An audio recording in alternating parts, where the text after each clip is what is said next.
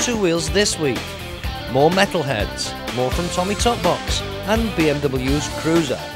But first, a visit to some motocross in Cheshire.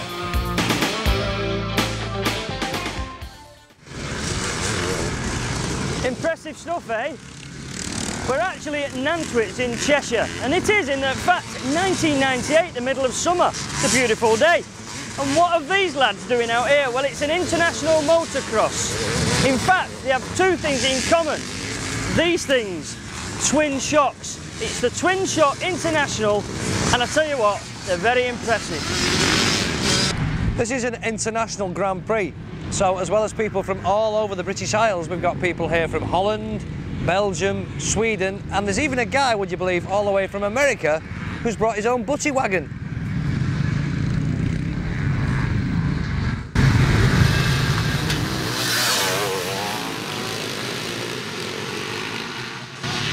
Well, this event is actually called the Wolf Sports Twin Shock Grand Prix.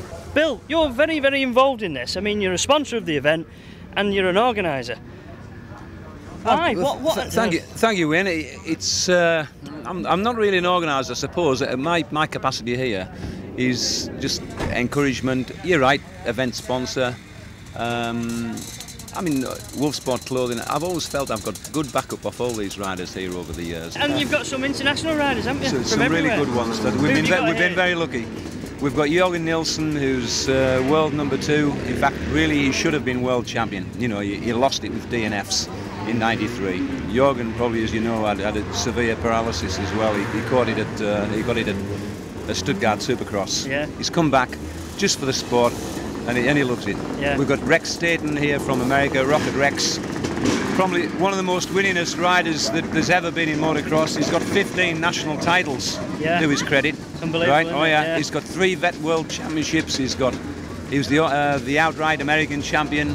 He was the bloody South African champion for Christ's sake. I can't believe just how, how much well, the guy's forgive done. me for interrupting now then, but how on earth did you get them to come here to Nantwich and why have you chosen Nantwich? Nantwich Circuit I would rate personally as probably the best in the country. It's a natural circuit. On a rider point of view, it is, and it's good for spectators, isn't it? Because you can see so much of it, it from one place. Absolutely everything. But even between races, you know, you'll go and watch the, the other race as a rider, yeah, and you'll yeah. think, let's have a look. What's the lines? Where they're going? You know, who's doing what? You can just walk over virtually any point and see it. You know, and just see what's going on. Another, I mean, another thing about Nantwich the club themselves, you know, the organisers, Bill Shaw, Bob McMinn, you, you, just couldn't ask for more support than, than, than we've had here. Because it's a big job organising. I mean, I can't believe yeah. how many people are here. There's, I mean, yeah, uh, you've got sort of 250 riders or something. Oh, aye, aye. Yeah, aye, blinking that's right, that's right. And those are just the ones that's been bothered to ender, you know. The, oh, they yeah. Most, like that, most, most of the twin shockers, I mean, they're, they're a breed of their own. Give us a go, mate. Oh, aye, aye. Well, it's not give us a go. They're all ex-riders. They're all ex-stars. They're all ex-national champions.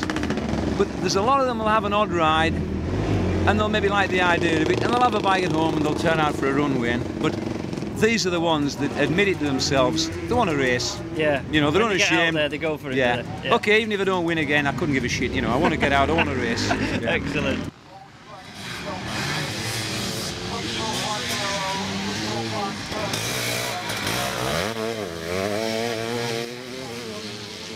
This is our famous man from the US of A, Rex State, Staten, American motocross champion.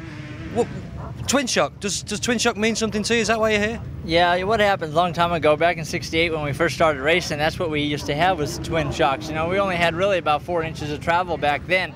Now it's got up to about 10 inches, but still, the modern bike's all single shock now, and they got running between 13 and 14 inches of travel. Right. And uh, they, you know, in the United States for the last two years, I've been number one over there on the vintage bike, or we call the classic in the United States. Over here, you guys call the twin shocks.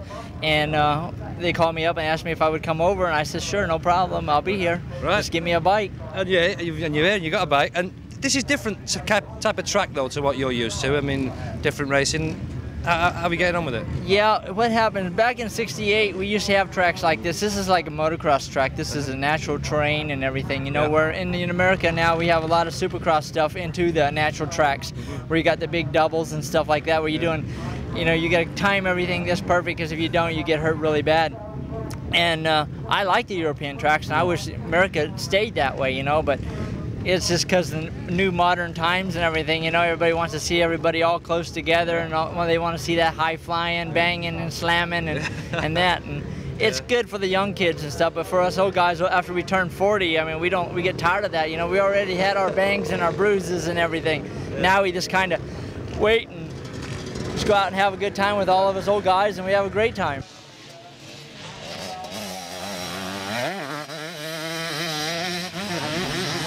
Well, I'm joined here by Jorgen Nielsen, who's just been out practicing. He's got a bit of a sweat on, haven't you, Jorgen? Yeah. and you would note from his uh, t-shirt here, he's from Sweden. It's a long way to come from Sweden, but it's worth it, I'm sure it is. Is it? Yeah, it's, it's a great day and uh, a lot of fun to ride on this track. And... How about the track compared to tracks back home in Sweden?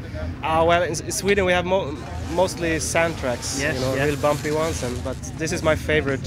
Is this a little quicker yeah. maybe than back home? Yeah, probably quicker and uh, much more technical. Yeah. Are you looking forward to the race later oh, on this afternoon? Yeah. You've been out practicing. Have you been trying to get the bike to suit yourself? Is this what you've been doing? Yeah, because I'm not used to ride this uh. Uh, Are you not? No, I have a Honda back home and uh, a, mo a, modern bike. Yeah. And, uh, takes a while to, to dial everything in. Oh, yeah. Carburetor and uh, tires and stuff. But now it's bike is good now. Uh huh. Yeah.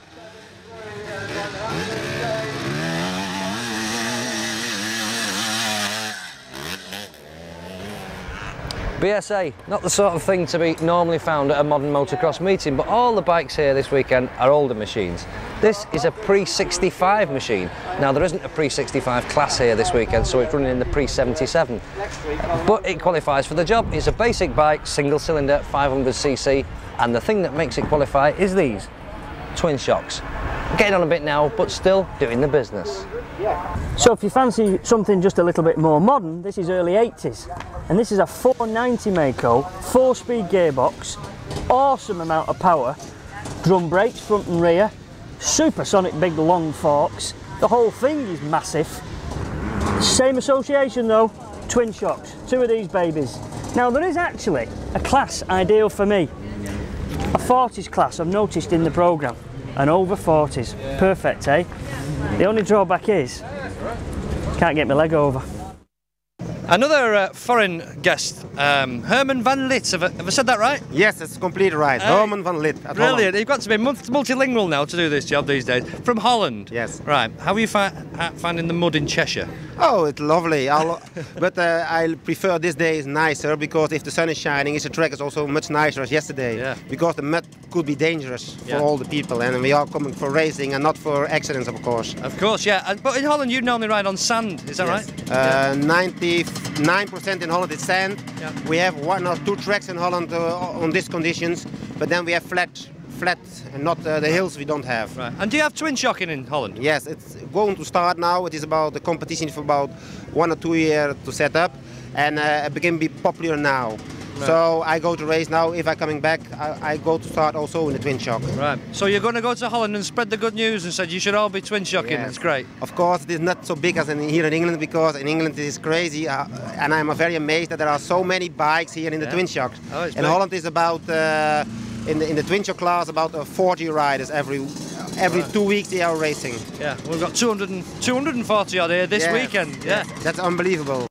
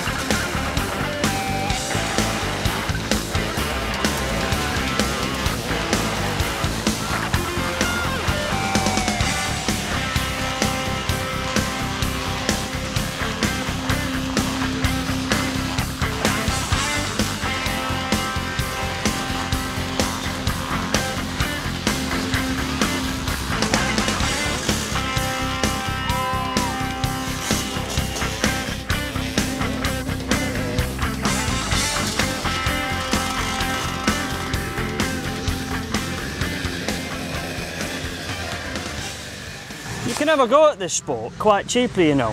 What you need is a pair of them, boots. You need some trolleys. You need a shirt. The shirt goes over the body armour. Of course, you need a helmet.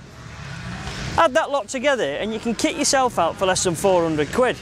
You can buy a bike for a thousand pounds. That is cheap motorsport, I can assure you.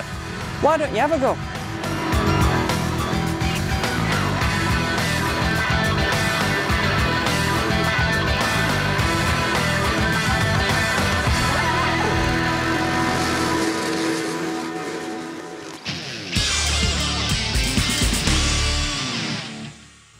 This is Metalhead. This is Metalhead. What pisses me off about I hate cars who pull out on you and then you smack into them like I did, and you fly over the bonnet, land knee first, go to the hospital, and then you end up being off the road, waiting, you know, for your compensation so you can get another bike. That's what happened to me. So that's what pisses me off. Hiya, my name's Lorna, I'm from Blackpool and this is Metalhead and I would like to say I love the scooter rallies. I've got no grievances and if you want to come, come because it's great fun for the family. What annoys me is that all the kids that I pass by in the back of the scooter, they all look and give me a dead funny look and start laughing. And what really annoys me is people start shouting at me, oh Jimmy, you forgot your sandwiches. Now that is just so annoying. and the other thing is, people get scooters mixed up with mopeds too much. Like, people run around on these little poxy things with only half a panel. Just ain't right. And then calling them scooters afterwards. That's all I really got to say. In the news this week, the Motorcycle Retailers Association has welcomed the government's announcement that from the 1st of March 1999 there will be a biannual prefix change on British number plates. It says there will now be a more even spread of bike sales throughout the year, with a further new bike boost in November.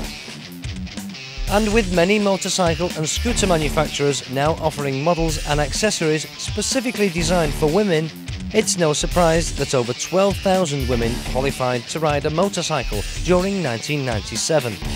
The scooter boom has also been recognised by them.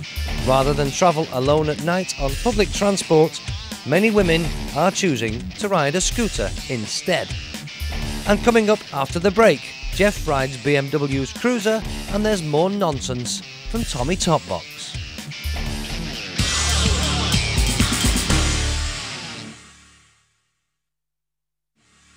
We're home on the range or back at the ranch, whatever you want to say. But this is BMW's new R1200C Cruiser. But I'm too hot to talk about it while I've got my Maverick outfit on, so I'll get this off and then I'll tell you all about it. Well, I suppose the most dominant feature of the BMW is this massive alloy forging, which is the lower link of the wishbone suspension for the front telelever. These aren't telescopic front forks as such as we know them. There's the stanchion, this is the slider, but there's no hydraulics in there. It's all in the centre, as in the spring. And as I say, that actually dominates the whole machine. There's no mistaking that one.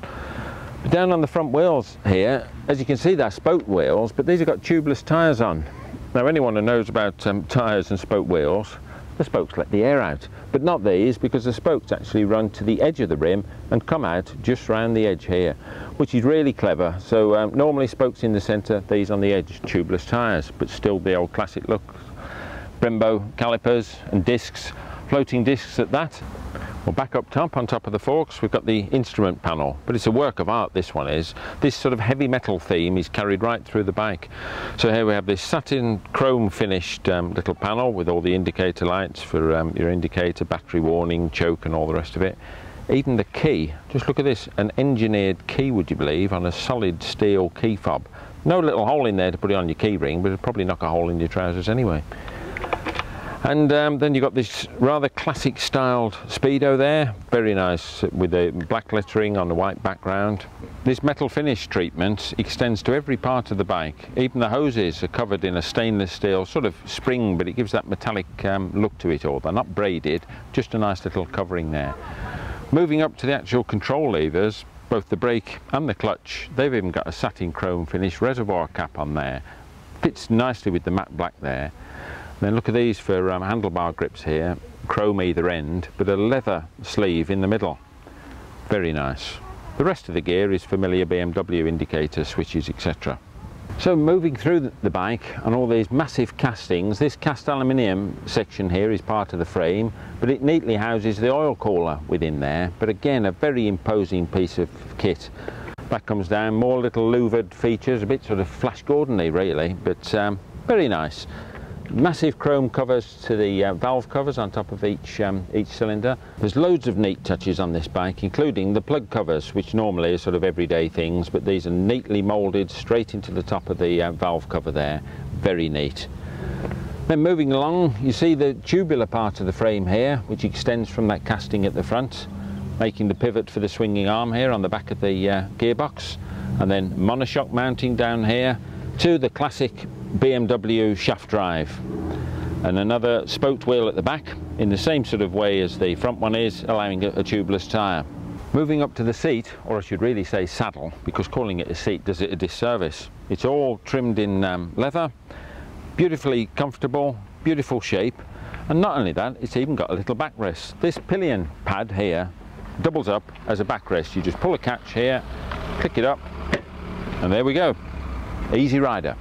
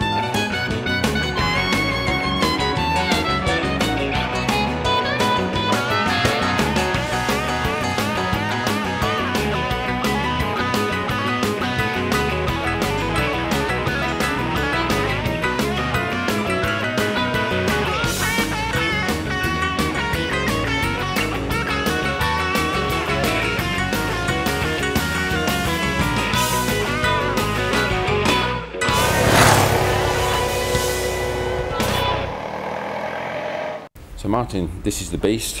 What is the philosophy behind this new projectile? Well, it's very simple, Jeff. Um, as always, it, it, it's about the market. Um, the world market for cruising motorcycles is expanding rapidly. Indeed, now uh, in the Western world, uh, the market is worth about 300,000 units, which is about a third of the total available market. So every one in three motorcycles that's built today is a cruiser. So BMW didn't want to miss out on this oh, then. Of course lucrative not. market. Of yeah. course not. but it, it must it was a, a, big step change for you though, wasn't it? I mean, you've never been associated with anything like the sort of custom cruiser market before. It must have taken some soul searching. No, it's it's an entirely new design, and you can see from uh, the cruisers, uh, the BMW cruiser's appearance, very radical. Um, but I would say also very up to date. It incorporates all of the modern technological features that have been the trademark uh, of BMW in recent years. The BMW Cruiser is something that you would never have thought BMW would have made, but in a world where the cruiser market has gone from only a sixth of the market to over a third in the past 10 years, BMW thought differently, very differently, and this is it, the R1200C Cruiser. Sculptured from the solid is how it looks, but solid as it might look, this is no unwieldy, wheezy pretender to the Harley throne. This is a motorbike in its pure, no-frill sense, and a high-tech one to boot. A hallmark of BMWs for nearly 75 years, the horizontally opposed flat-twin engine is their biggest ever. A fuel-injected 1200cc monster with bucket-sized pistons that give a whole new meaning to the word character. At 61 horsepower, it's not going to frighten you, but bags of low-down torque burbling away from the cleverly muted exhaust lets you cruise smoothly through the 5-speed gearbox in real cruiser style. But if the engine's got character, the rest has got panache. While other cruisers tend to be very conventional, this one has the much acclaimed telelever front end and flaunts the technology with a gleaming alloy wishbone controlling a single front suspension unit. The rear end uses the well-proven monolever setup in conjunction with another BMW hallmark, shaft drive. All in all, this cruiser rides like no other. It's more of a hustler than a high plains drifter, giving a firm but subtle ride with no wallowing. But watch out for decking out at only modest angles of lean. Brembo 4-pot squeezing twin 300mm floating discs up the front and a single Brembo setup at the rear gives the sort of braking that this bike deserves. Power, but subtle with it. At 256 kilos, it's no lightweight, but then again, a cruiser is built for comfort, not for speed, and in any case, it's no heavier than its compatriots in this class. Talking of comfort, the rider's seat is more like a saddle than a seat and really gives you that part of the machine feel. Not so sure about the pillion though, more like a bird's perch. Pun intended, of course. At 9,750 you can have your cruiser in this rather classic ivory, a cool black or a snazzy canyon red metallic. But we warned, you're buying into a lifestyle here and this is just the start. BMW call it their cruiser world, an emotionally satisfying experience, which translated means 27 items of rider and lifestyle equipment for you to choose from. Mind you, I must say I rather like the Maverick suit. I'll just have to buy a BMW now.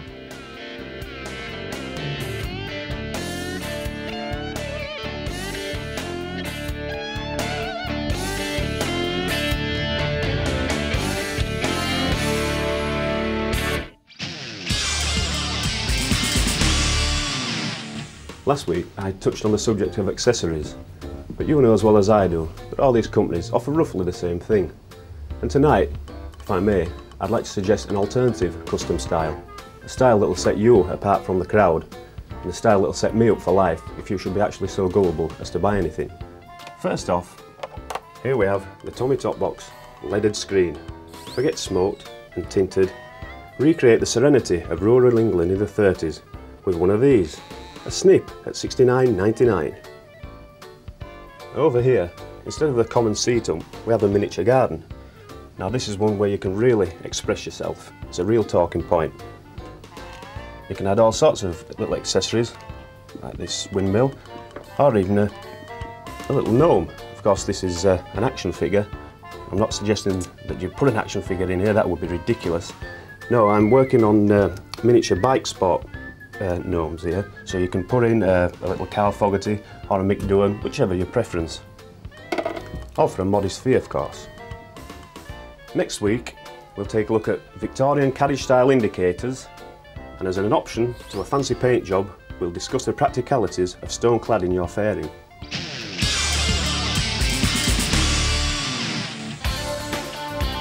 On Two Wheels next week for those of you looking for that different kind of biking activity and perhaps wondering where to go on a Saturday morning, we take a trip to a speedway school.